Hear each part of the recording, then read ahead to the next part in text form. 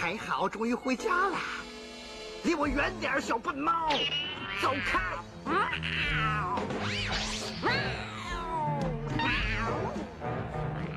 阿斯猫，你这蠢货！是我，格格巫。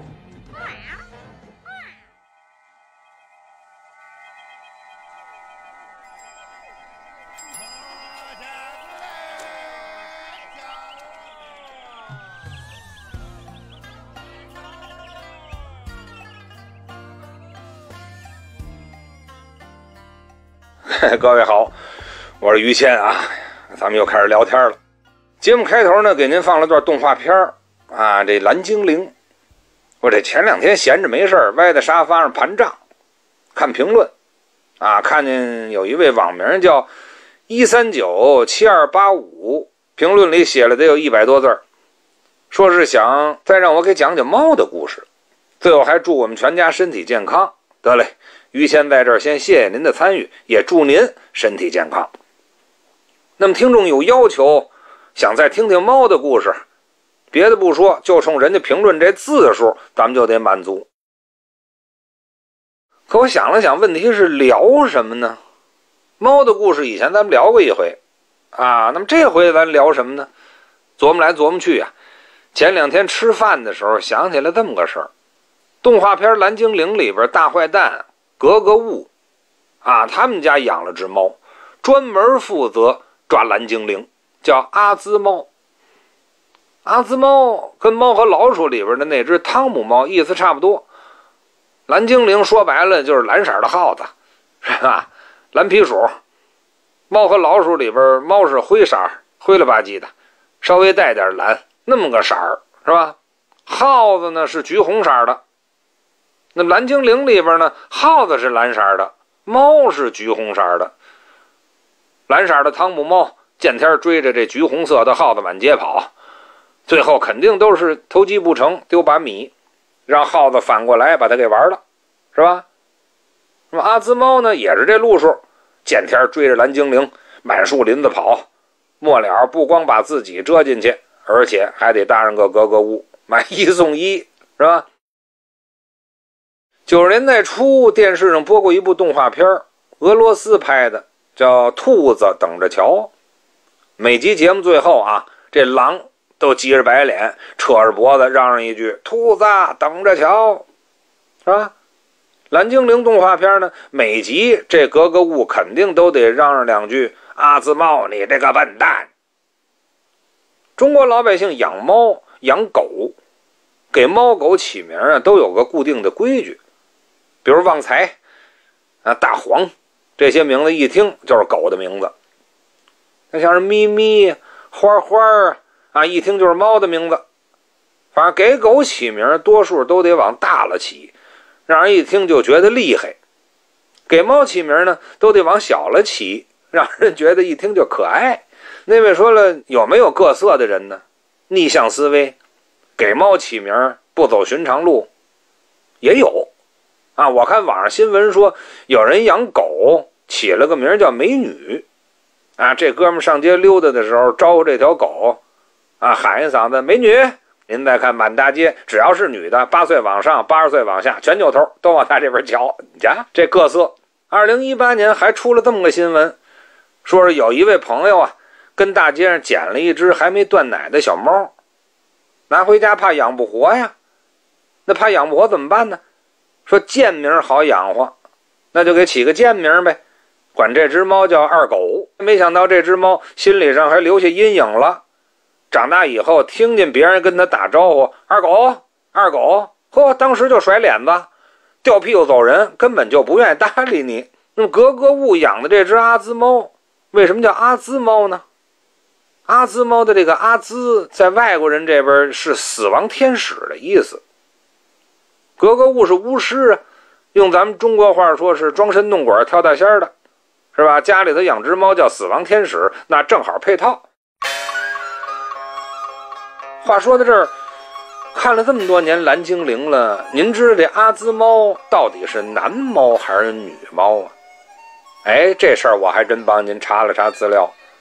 蓝精灵最早是一九五八年，比利时布鲁塞尔那边有位漫画家叫皮埃尔·库利佛画的这么个连环画小人书。蓝精灵原版的小人书里边，阿兹猫是只女猫。六十年代初那会儿，比利时把这套连环画拍成动画片哎，没成想跟电视一播火了。比利时导演拍蓝精灵的时候，八成是觉得格格巫一大老爷们儿啊，还秃顶，用现在的话说，这中年油腻男啊，是吧？养只女猫好像不大配套。就把这阿兹猫给改成男猫了。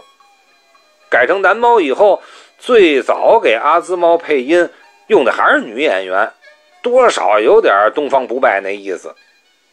再后来，蓝精灵这收视率挺高，电视台打算多拍几集，拍续集。那么导演既然把阿兹猫改成男猫了，原作的漫画家也就犯不上较劲了，干脆直接就把阿兹猫画成男猫了。八十年代以后，蓝精灵越来越火，美国人把版权从比利时人手里买过去了，改编、重拍。中国七零后、八零后小时候看的蓝精灵，就是改编重拍的那种美国版。那比利时人怎么就想起来让格格巫养了只阿兹猫呢？那还是女猫呢？哎，这个事儿想掰扯清楚，那又远了去了。上回聊猫的时候，咱就说过，全世界最早养猫的是古埃及人。五千多年以前，古埃及那边有位女神仙，叫巴斯泰托。巴斯泰托就是一个大姑娘的腔子上顶着一个黑猫脑袋。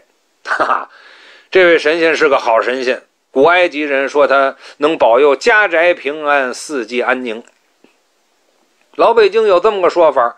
猫是把家虎，家里养猫好，甭管什么颜色的猫，都能把家里的财给守住，保平安。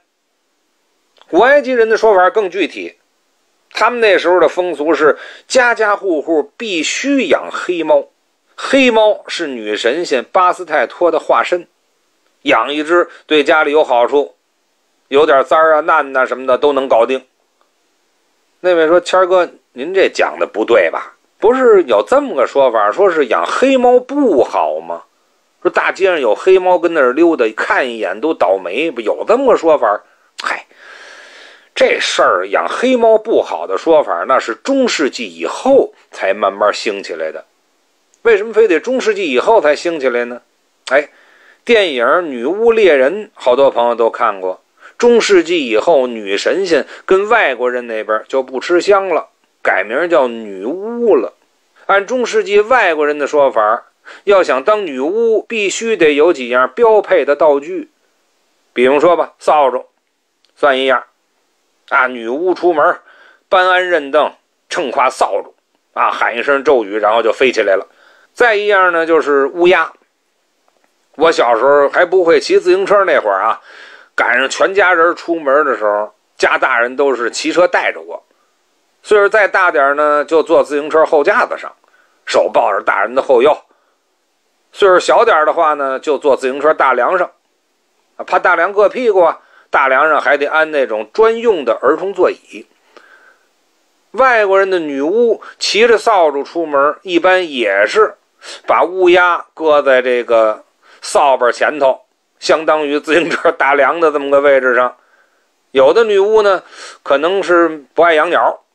啊，喜欢吸猫，那就可以把乌鸦换成猫，哎，必须还得是黑猫。格格巫他们家这阿兹猫最早刚画成漫画的时候也是黑猫，后来可能是导演觉得格格巫本来就穿一身黑，阿兹猫再是黑的有点靠色，再者说动画片是给小孩看的，黑猫小孩看着害怕不喜欢。这么着，才换成了一只橘黄色的猫。中国老百姓有句俗话啊，叫“夜猫子进宅，无事不来”。老北京还有这么个妈妈令，说是不怕夜猫子叫，就怕夜猫子笑。夜猫子您都知道，就是猫头鹰啊。那什么叫夜猫子笑呢？猫头鹰跟百灵、画眉这些鸟差不多，叫声也分多少多少种。养鸟的行话叫分多少多少口。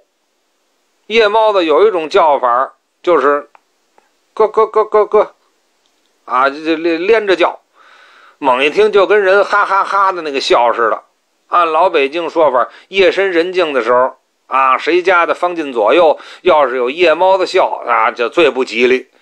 尤其是家里有重病人的话，这夜猫子笑就说明这人眼瞅着快不行了。夜猫子笑这事儿，要说是迷信啊，也不纯是迷信，多少还有点科学道理。您要说了，这一听就是封建老迷信的话。怎么还有什么科学道理啊？您这哪儿的话？您别着急，您听我接着给您说。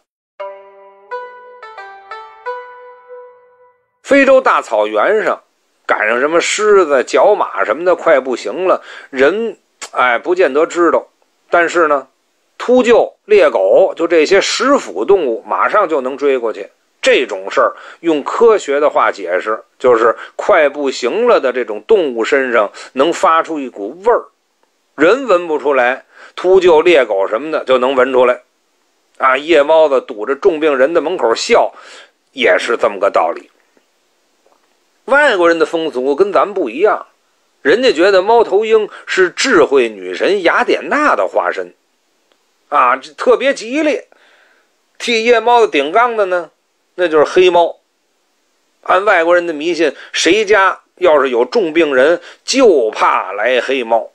尤其是黑猫爬到他们家房顶上，喵喵的一叫，那这人指定就没救了。为什么没救了呢？因为黑猫代表女巫来他们家取病人的魂魄。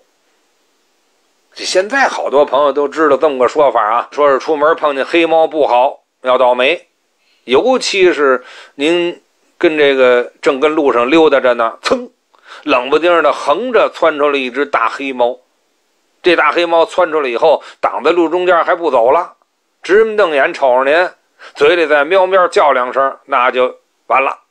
这么着的话，据说是最不好，谁碰见肯定都得倒大霉。意思就跟清早起来出门的时候，老公堵着门啊，碰头好，呱呱这么一叫差不多。那么这说法呢，往根上倒，就是外国人那边传过来的迷信，中国原先根本就没有。您也就听听，哎，不用这吓得不敢出门，不至于。我十几岁的时候，刚从学员班毕业，就跟家里边养了两只猫，啊，一白一黑，叫黑白双煞嘛。白猫啊，是我从我们老师家哎设法弄来的，啊，没法养了，送给我了。后来我又转手送出去了。中国传统文化里边，不光是黑猫，只要是猫。多少好像都有点法力，都带点邪气儿。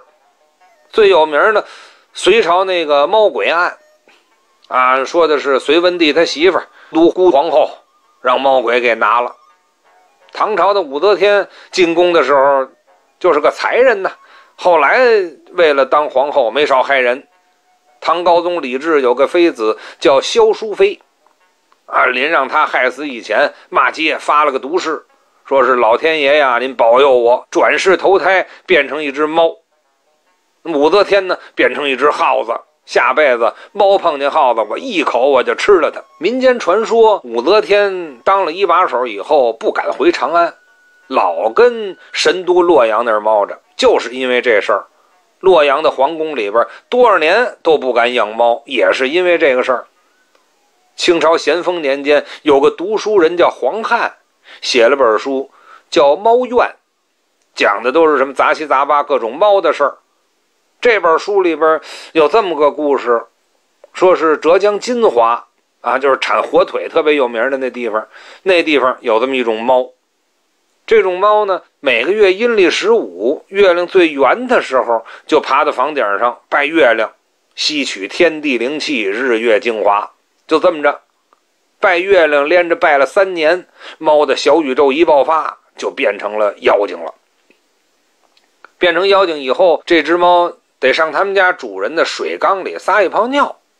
啊，养猫的这家人喝了掺猫尿的水，中了法术，从此以后就犯迷糊了，再也看不见这只猫了。这只猫呢，就算得意了，跟他们家胡天可劲儿折腾了。眼下有的老爷们出去跟朋友喝酒，半夜十二点喝得晕晕乎乎，脚底下拌蒜，推门进屋，媳妇儿不是都得这么说吗？又上哪儿灌猫尿去了？不知道回家，晚上睡大街得了。那么喝酒 为什么说非得说是灌猫尿呢？怎么不说灌狗尿呢？灌马尿、灌骆驼尿，怎么怎么非得说猫尿？打根儿上说，就是从金华猫的这个故事这儿画过来的。话说到这儿，有朋友该问了啊，灌猫尿干嘛非得是金华猫，别的猫就不成吗？哎，这事儿我只能这么跟您说，猫院里边那书啊，白纸黑字就是这么写的，我也只能这么给您讲。至于说为什么金华猫这么厉害？啊，是不是因为平常吃火腿吃多了？反正咱不知道。当初写书的人也没交代，我也不敢瞎编。直到现在，您去甘肃青海那边，还有好多迷信的那老人啊，信猫鬼。按当地老百姓说法，姜子牙在昆仑山上头跟着他师傅叫元始天尊学艺，整整六十年，七十二岁，头发白了，牙都掉了，这才一满出师下山回老家。姜子牙回老家以后，当年结义的大哥宋员外给他张罗了一房媳妇儿，啊，六十八岁黄花大闺女马氏。没想到马氏过门以后啊，看不上姜子牙，说他是吃嘛嘛没够，干嘛嘛不灵。两口子因为这事儿矛盾越攒越大，马氏最后干脆就把姜子牙给蹬了。姜子牙后来的事儿您都知道哈。文王访贤，武王伐纣，兴周八百载，最后跟秦岭太白山主峰拔仙台上头挂起封神榜，封神，啊，封来封去，封到最后，马氏撒么大眼也来了，告诉姜子牙说：“咱俩怎么说也跟一块过了几天日子呀，是吧？一日夫妻百日恩，啊，百日夫妻似海深，是吧？这个别人都封神了，要么……”你也给我来个差事，也让我好歹混个退休金呐。老话讲，再穷不卖看家狗啊，再富不宰耕地牛啊。狗对人特别忠心，甭管家里多穷，吃的多差，认定你了，轻易就不会走。反过来说，猫就不一样了，谁家吃的好，奔谁家去。现在有的老人还有这么个说法：家里要是来了别人家小孩儿。这孩子外向，自来熟，见谁都说话，给东西就吃。老人就可以这么说：“你瞅瞅，这孩子属猫的，不认生。”当然了，这就是民间传说啊，老妈妈令儿，也不是绝对的。有的猫对主人也特别忠心。我养过的那只白猫就这脾气。按以前迷信的说法，猫跟人也讲究个缘法。姜子牙。觉得他前妻应该就是个属猫的，只能同富贵，不能共患难，打心眼里就看不起这人。可转念一想，俩人好歹一块过了几天日子，是吧？不念鱼情，念水情嘛，凑合着给他对付个差事吧。这么着，姜子牙封神的时候，哎，就给他前妻马氏封了个猫神。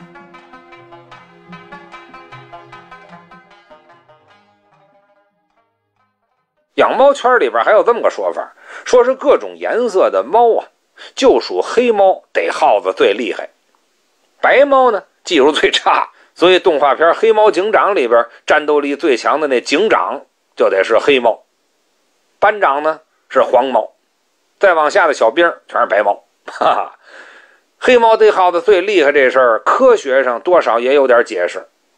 用遗传学的话讲，黑猫。是因为猫的基因突变引起的色素异常现象，道理就跟湖北神农架有好多白化动物，像什么白猴、白蛇、白乌龟差不多。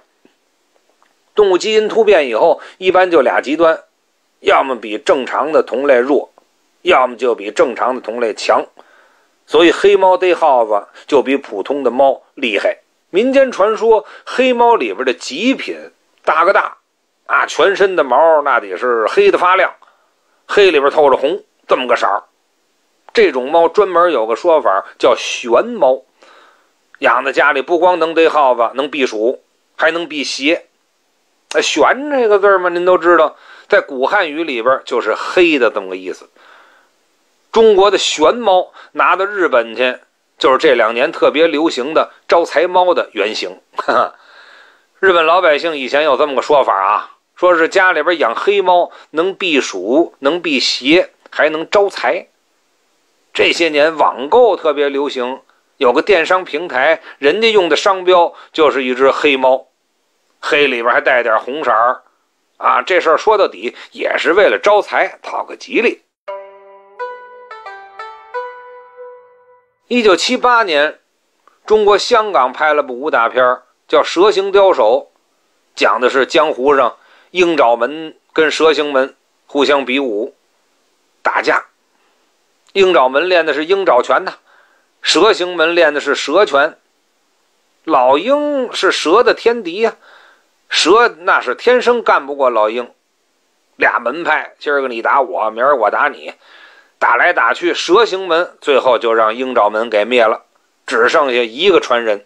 剩一个传人，按武侠小说的传统套路，那就得是访名师、拜高友啊，山后练鞭，想着报仇啊。《蛇形刁手》里边有这么个桥段：男主角平时为了练蛇拳，跟家里养了条眼镜蛇。话说有这么一天，这眼镜蛇瞅冷子，从笼子里跑出来了，正好让他们家猫看见。猫打架，好多朋友都见过，以挠为主。那只猫就是喵喵乱叫，伸着爪子一顿乱挠，最后愣把这眼镜蛇给挠服了。哎，男主角从这地方受启发了，独创了一套猫拳。那老鹰再怎么厉害，多数肯定他也打不过猫啊！啊，电影的结尾就是善有善报，恶有恶报。男主角把鹰爪门的人挠得满脸都是血道子，这这仇也算就报了。八十年代末，《蛇形刁手》刚传进大陆的时候，电视台没供应。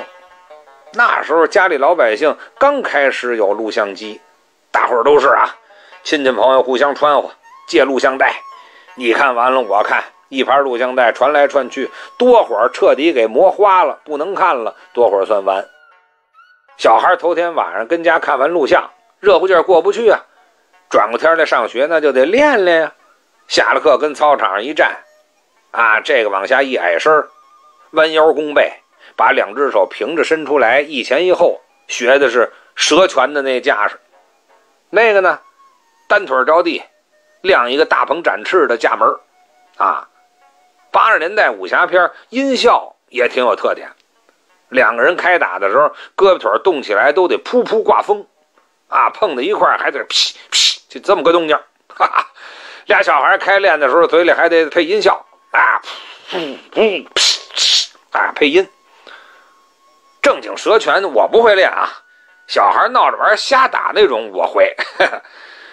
这路蛇拳，除非捅在对方肋巴扇上，要不然的话没什么威力。弄不好，没准还能把自己手指头给戳了。俩人打着打着打急了眼了，练蛇拳这位觉得不解气呀，蛇拳就该猫抓了，闭着眼王八拳，两条胳膊抡圆了，一通乱挠。中国武术那门派很多，啊，好像还就是没听说有猫拳，那黑虎拳倒是有。黑虎拳里边有一招叫黑虎掏心呢，这招就连不会练武术的人都知道。老年间江湖上有个门派叫黑虎门。黑虎拳这黑虎跟黑猫的原理差不多，也是基因突变。二零二零年二月份，印度那边就跟野外发现了一只黑虎。黑虎不是好多朋友想象的那样，跟黑猫似的，浑身上下一水黑。那普通老虎黄底黑花，黄色多，黑色少。黑虎呢是黑底黄花，黑色多，黄色少。啊，黑的地方能连成一片。这种黑色的老虎，中国古代可以叫玄虎，啊，也可以叫蓝虎，意思就是说老虎身上的毛黑的发蓝。按古人的说法，老虎分黑白黄三种颜色，黑色的老虎比黄色的、白色的老虎都厉害。河北遵化、清东陵那边，直到一九五七年，还有人亲眼看见过黑色的老虎。眼下您去中国西南地区，四川、贵州、云南那边，有好多地方都叫什么黑虎村、黑虎山、黑虎寨，是吧？西南地区有个少数民族叫彝族，最有名的四川大凉山有个彝族自治区。彝族是五十年代以后的说法，五十年代以前，彝族不叫彝族，叫罗罗，啊。罗罗这个字眼儿，在彝族的话里边就是黑虎的意思。按彝族老百姓的说法，他们的老祖宗是一只黑老虎。四川那边最后一回看见野生的黑虎，是一九九零年。北京南边永定门外有个地方叫赵公口，啊，好多外地朋友坐长途汽车进京办事儿，都得从这个地方路过。赵公口的这个赵公。指的是《封神演义》里边的赵公明，赵元帅。武王伐纣那会儿，赵公明是商纣王那头的人，后来让姜子牙他们给收拾了。封神的时候，姜子牙觉得赵公明这人呢还算凑合，就给他封了个龙虎玄坛真君。中国传统文化里边，拢共有三位财神爷：文财神比干，武财神关羽。再有一位黑财神，又叫五显财神，就是这位赵公明，赵元帅。供赵元帅的庙又叫五显财神庙，又叫黑虎玄坛。庙里边的赵元帅胯下骑的坐骑就是一只黑老虎。北京南边永定门紧挨着卢沟桥，自古就是从南边进北京、出北京的必经之路，南北往来的客商都得从这地方路过。那是买卖人求的是财呀，大伙儿一合计，干脆就集资跟这条必经之路上修了座五显财神庙。五显财神姓赵，叫赵公明，啊，当地从此留下个地名叫赵公口。老北京有这么个说法：北京有福禄寿喜四大吉地，啊，咱们聊过向来街占个吉字儿，万寿寺占个寿字儿。宝福寺占“福”和“禄”两个字儿，赵公口呢占的就是一个“财”字儿。得嘞，今儿从黑猫一直聊到黑老虎，哈哈，还想聊什么？呃，您回信儿，咱们以后找机会接着聊。